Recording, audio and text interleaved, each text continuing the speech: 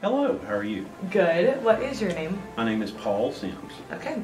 And what do you do for the management department? I teach business communication, written communication. Okay. So before coming to Spears, where did you go for undergrad and grad school? So, undergrad was many years ago at the University of Alabama. My major was in journalism and my minor was in human resource management. In 2011, I began doing graduate work at Auburn University. If you know anything about Alabama, I have degrees from the two rival institutions and I'm an anomaly, but that's okay. Several years later, I came here to Oklahoma State and obtained a master's in English and teaching English as a second language Okay. in 2017. I started teaching here in 2018. So, in the first several weeks of the course, we're laying foundations, things about how to interact with other cultures, how to uh, deal with conflict in the workplace, how to write effectively. And then the latter part, we focus on reports, but one component we also emphasize is visual literacy and not uh, to help people understand how color works, how text works, the differences between the types of fonts, also that they can be prepared to move into the professional world and if they need to do these things, they're ready for it.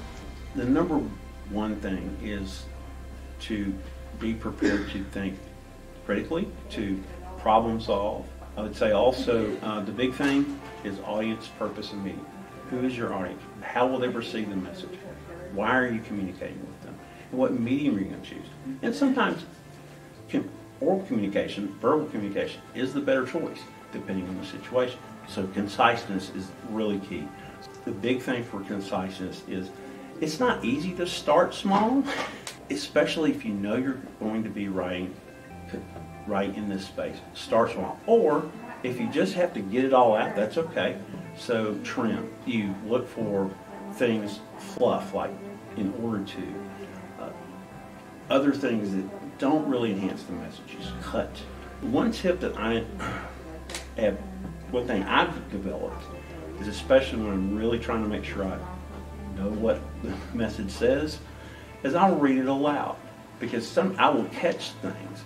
Because sometimes when we're writing, I, I in my mind I will see uh, the, but then I didn't type it. Yeah. Yes. So I can catch that when I'm reading. And just remember that you are, when you're writing in an organizational business context, you are representing not just yourself, you're representing other people. So that's why the ethics matter.